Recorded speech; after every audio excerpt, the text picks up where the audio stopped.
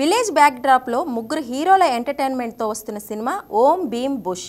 ఈ cinema teaser తాజాగా release అయింది ముగ్గురు కుర్రాళ్ళు సైంటిస్టులమని చెప్పి విచిత్రమైన గెటప్లో భైరవపురం అనే ఊరికి వస్తారు. ఆ ఊరిలో ఆ ముగ్గురు చేసే అల్లరి అంతా ఇంతా కాదు. గతంలో హుషారు అనే సినిమా అందించిన దర్శకుడు హర్ష కొనుగంటి ఈ చిత్రాన్ని తెరకెక్కించారు. టీజర్ కట్లోనే లాఫింగ్ మ్యాజిక్ను అందించాడు దర్శకుడు. ముగ్గురు శాస్త్రవేత్తలుగా శ్రీ విష్ణు ప్రియదర్శి రాహుల్ రామకృష్ణ నటించారు.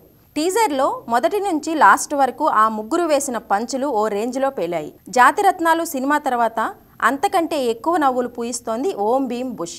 గుప్త నిధుల కోసం ముగ్గురు శాస్త్రవేత్తలు ఏం చేశారు అనే ప్రశ్నకు సమాధానమే ఈ కథ. శ్రీ విష్ణు ప్రియదర్శి రాహుల్ రామకృష్ణ పాత్రలకు ప్రేక్షకులు విపరీతంగా కనెక్ట్ అవుతారని టీజర్తో తెలుస్తోంది. రెండు గంటల పాటు పొట్ట చెక్కలేయేలా నవ్వించే సినిమా అని సాంకేతికంగా అద్భుతంగా ఉంటుందని తెలిపింది చిత్ర యూనిట్. వి సెల్యులాయిడ్తో కలిసి సునీల్ బులుసు నిర్మిస్తున్నారు ఈ సినిమాని. యూవి క్రియేషన్స్ సంస్థ సమర్పిస్తున్న ఈ సినిమా మార్చి ఇరవై రెండున విడుదల కాబోతోంది.